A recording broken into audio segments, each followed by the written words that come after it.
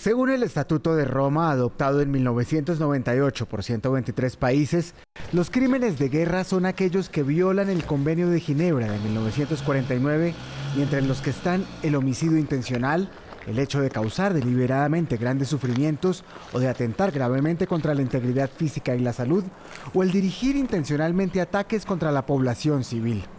Quien tiene la potestad de investigar estos crímenes de guerra es la Corte Penal Internacional, que entró en funcionamiento en 2003 y que busca que los responsables rindan cuentas de sus crímenes y evitar que vuelvan a ocurrir. Entre los países que están siendo investigados por la Corte Penal Internacional están Venezuela, Costa de Marfil, Mali, Libia, Sudán, República Centroafricana, República Democrática del Congo, Uganda, Kenia, Georgia, Afganistán, Myanmar, Filipinas y Ucrania. La investigación de este último país inició el 2 de marzo, solo una semana después de que iniciara la guerra rusa pero aprovecharán para investigar delitos cometidos desde 2013 en la península ucraniana de Crimea y en el este del país. A pesar de que la Corte Penal puede investigar crímenes de guerra y de lesa humanidad, las potencias mundiales como Estados Unidos, Rusia, China o India no la reconocen ni han firmado el Estatuto de Roma.